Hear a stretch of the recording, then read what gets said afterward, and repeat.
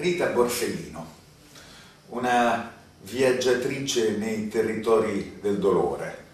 una pellegrina sulla sequela della legalità. Le parole che lei ha inseguito, ha inanellato nel suo lungo cammino, in lungo e in largo per l'Italia, sono le parole fondamentali, quelle che talvolta mancano al vocabolario della politica.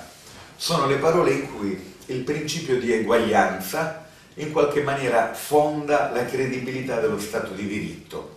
La democrazia, la libertà, i diritti sociali, i diritti umani disegnano, diciamo così, il profilo di una società accogliente, solidale, conviviale. Ahimè, Rita Borsellino oggi è una delle testimoni privilegiate della regressione, del salto all'indietro, del capitombolo che vive purtroppo il nostro sud, la nostra Italia. Allora Rita, benvenuta in Puglia. Grazie, grazie, sono venuta volentieri ogni volta che posso incontrare la realtà pugliese e te è un po' come respirare una boccata di aria pulita, come respirare di nuovo vento di speranza. Quel vento di speranza che aveva spirato così forte, aveva soffiato così forte dopo i fatti tragici del 92 e che aveva veramente suscitato eh, le coscienze, eh, c'era stata assunzione di responsabilità, c'era stata voglia di cambiamento. Poi purtroppo, come dicevi tu, in questi anni sono stato un po' testimone di questo addormentarsi prima e, un, e poi un capitombolo all'indietro. Non, non, ci si mm, indigna più, non ci si meraviglia più di niente, si subisce semplicemente. E però questo non va bene. E noi lo sappiamo bene, non va bene, non va bene soprattutto in quel meridione d'Italia che questo lo vive un po' come una malattia antica. Torno con la memoria al momento di quel dolore per te anche familiare, privato, per tutti noi un grande dolore brutale che di fronte alla strage di Capacci prima e alla strage di Via D'Amelio poi dice basta, si dà la forza di reagire, trova dentro di sé l'energia per non rassegnarsi a quella frase disperata che aveva detto un uomo meraviglioso come Nino Caponnetto, tutto è finito, tutto è finito. No, dal dolore, dal punto più basso della storia italiana tutto poteva ricominciare. Anche per me, Rita, quei giorni furono dolorosi, eh, furono giorni di paura. Ricordo che abbracciai a lungo mio padre, piansi tantissimo e dissi papà ho paura, papà ho paura, dobbiamo fare di più, dobbiamo fare qualcosa, mi ha reso meridionale, mi ha reso italiano, mi ha reso europeo come nessun'altra vicenda. Da allora ho amato la Sicilia di un amore che tu sai è totale, la raggiungo come se fosse una, in continuità con la mia Puglia, e però Puglia, Sicilia, Calabria, Campania, queste terre martoriate dalla rassegnazione, dal cinismo e dalla mafia e tuttavia noi abbiamo la necessità di spiegare che si può reagire, che è necessario reagire. Sicuramente sì, io dico che in quei giorni nacque, in mezzo allo sgomento e alla, paura, proprio la paura, nacque una grande passione, cioè che io oggi sono eh, parlamentare europea. E la mia attività e, e, nasce naturalmente dalla mia passione per questo sud, questo sud così eh, abbandonato, così eh, trascurato, ma anche così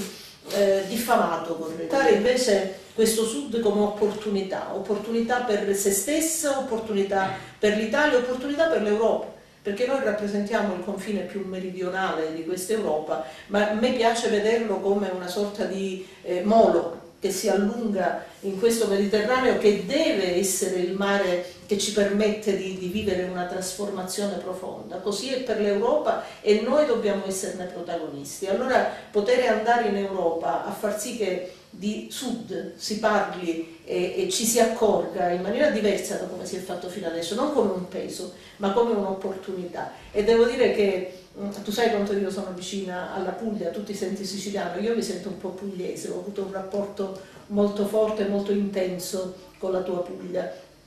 proprio la tua, quella che ha fatto riferimento eh, a te, Citi a realizzare tante delle cose che avevamo anche sognato insieme. Il programma partecipato che avevamo fatto in Sicilia prendeva molto spunto da quello che già si faceva in Puglia e che questo tu e il tuo, il tuo, eh, il tuo governo di questa regione sia riuscito a, a, realizzare in tante, in tante circostanze, in tante situazioni, eh, a me suscita davvero una punta di invidia, ma soprattutto una, tanta speranza, perché dico, vuol dire che è possibile, se si è fatto in Puglia si può fare dappertutto, ci vogliono le persone giuste. Però. Forse il segreto è nel fatto che abbiamo avuto dei maestri e delle maestre anche fuori eh sì, dalla Puglia. Eh sì. Forse il segreto è nel fatto che abbiamo scoperto che l'antimafia, diciamo quella più robusta, quella più forte, è nata nelle campagne del sud nel dopoguerra. È stata l'antimafia della povera gente, dei capi Lega, dei capi Bracciante, è stata l'antimafia di Epifanio Lipuma e di Placido Rizzotto. Siamo ispirati alle storie di chi ha proposto contro la mafia un'antimafia sociale, un'antimafia dei diritti, delle cose concrete. Abbiamo provato a finanziare con una linea eh, specifica di finanziamenti comunitari eh, la gestione sociale dei beni non solo confiscati, ma anche dei beni sequestrati alla mafia. Abbiamo incoraggiato la nascita di cooperative di Libera, l'associazione eh, delle associazioni antimafia. Abbiamo insomma spiegato a noi che essere una terra liberata dalla mafia significa essere una terra di libertà.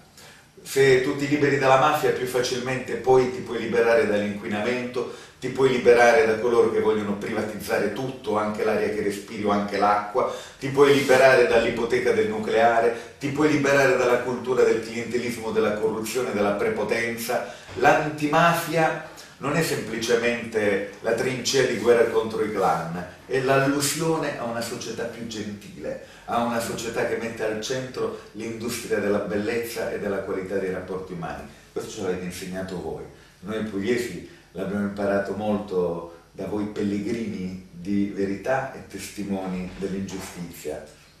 Ma noi l'abbiamo imparato sul campo, l'abbiamo imparato e ci è costato tanto per cui non, non, vogliamo, non possiamo, non sappiamo rinunciarci, assolutamente no, si tiene duro e ci sono momenti in cui bisogna veramente stringere i denti e puntare i piedi, invece ci sono momenti che poi grazie a quello stringere i denti e puntare i piedi che ci permette di radicarci bene sul territorio, poi si può fare un salto in avanti, si può correre davvero verso questa affermazione della legalità sui territori, perché è proprio così, anche se dobbiamo stare attenti a cosa si intende per legalità, o legalità l'abbiamo eh, vista, e imparata e praticata grazie a, ai tanti, tanti che, che, ci hanno creduto davvero e che sono stati quasi profeti nostre, nelle nostre terre. E allora abbiamo il senso, il senso vero della legalità, quello di, una, di, norme, di regole che servono veramente a tutti e che servono soprattutto a tutelare i più deboli, a tutelare i più, i più fragili. E questo ci permette di guardare con un occhio più, più limpido, forse con più lungimiranza anche a quelle che sono le necessità di un territorio e le potenzialità di un territorio da sviluppare per farlo diventare veramente eh, l'ambiente giusto perché si possa crescere in armonia e ci si possa sviluppare davvero questo dialogo strano tra me e Rita Borsellino sembra più ispirarsi alle operette morali di Leopardi che non alla lotta politica propriamente intesa. Stiamo parlando nel mese di marzo 2010, mentre la maggioranza di centrodestra che governa questo paese uccide il diritto al lavoro eh, mutilando eh, l'articolo 18 dello Statuto dei diritti dei lavoratori, mentre la maggioranza di centrodestra chiude perfino quella parziale voce di libertà che sono le tv e le radio locali, mentre la maggioranza di centrodestra vuole infiggere una lesione gravissima allo Stato di diritto, immaginando un decreto in cui si scrive che le leggi che valgono per tutti non valgono per i sodali del Presidente del Consiglio, mentre il Ministro della Difesa eh, minaccia sangue e si trasforma in una specie di buttafuori nelle conferenze stampa del Presidente del Consiglio, mentre una classe dirigente nel suo complesso dà una prova di sé che è muscolare e patetica, che è goffa e autoritaria. E noi, con queste note, diciamo così, un po' pessimiste, ma il pessimismo di chi non si ferma, di chi non si rassegna, di chi non si arrende, cerchiamo di scambiarci le parole che sono le promesse che io e Rita ci siamo sempre fatti di continuare a vegliare come le sentinelle in questa notte, fiduciosi prima o poi di vedere l'alba.